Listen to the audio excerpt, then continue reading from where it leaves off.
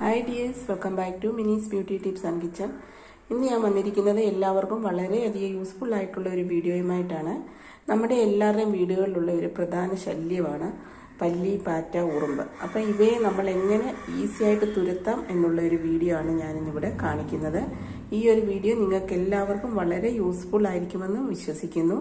അപ്പം നമ്മുടെ എല്ലാവരുടെയും വീടുകളിൽ ഈ ഒരു ഐറ്റം ഉണ്ട്. ഇപ്പം നിങ്ങൾക്ക് മനസ്സിലായിട്ടുണ്ടോ ഇത് എന്താണെന്ന് അപ്പം ഈ ഒരു ഇൻഗ്രീഡിയൻസ് ആണ് മെയിനായിട്ട് നമ്മൾ ഇതിൽ യൂസ് ചെയ്യുന്നത്. അപ്പോൾ അതെങ്ങനെയാണ് നമ്മൾ തയ്യാറാക്കുന്നതെന്ന് നമുക്കൊന്ന് വീഡിയോ കണ്ടു നോക്കാം. അതിനായിട്ട് ഞാനിവിടെ ഒരു പ്ലാസ്റ്റിക് പാത്രമാണ് എടുത്തിരിക്കുന്നത്. ഇതുപോലെ നമ്മൾ പഴയ ഒരു പ്ലാസ്റ്റിക് പാത്രം എടുത്താൽ മതി. പുതിയതൊന്നും വേണമെന്നില്ല.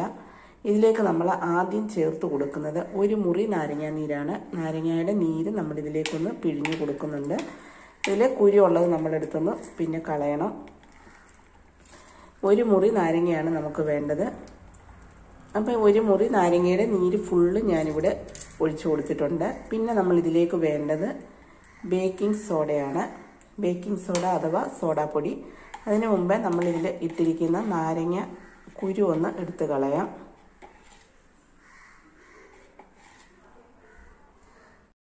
അപ്പോൾ ഞാനിവിടെ നാരങ്ങയുടെ കുരുവെല്ലാം ഒന്ന് എടുത്ത് കളഞ്ഞിട്ടുണ്ട്. പിന്നെ നമ്മൾ ഇതിലേക്ക് ചേർത്ത് കൊടുക്കുന്നത് ബേക്കിംഗ് സോഡയാണ് അല്ലെങ്കിൽ സോഡാപ്പൊടി.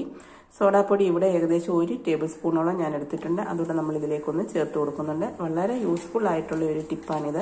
ഈ നൂറ് ശതമാനം നമുക്ക് റിസൾട്ട് കിട്ടുന്നതാണ്.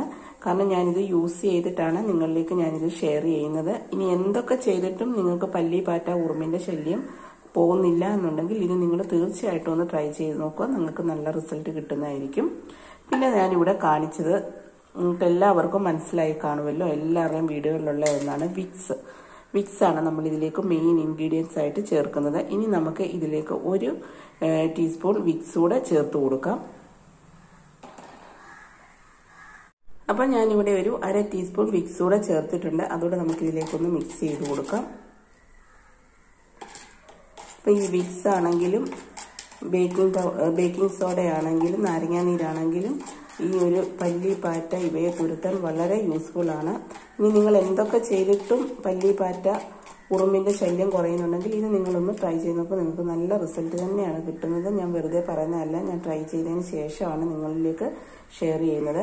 ഇനി ഇതിലേക്ക് നമ്മൾ ചെറിയ ചൂടുവെള്ളം ഒരു അര ഗ്ലാസ് ചൂടുവെള്ളം. ഇവിടെ കുറച്ച് മാത്രമേ ഞാനിവിടെ ഒരു ചെറിയ സ്പ്രേ ബോട്ടിലേക്കുള്ളതാണ് ഞാനിവിടെ എടുത്തിരിക്കുന്നത്. നിങ്ങൾക്ക് വലിയ സ്പ്രേ ബോട്ടിലാക്കി കൊടുക്കണമെന്നുണ്ടെങ്കിൽ ഇതിന്റെ എല്ലാ അളവ് കൂട്ടാവുന്നതാണ്.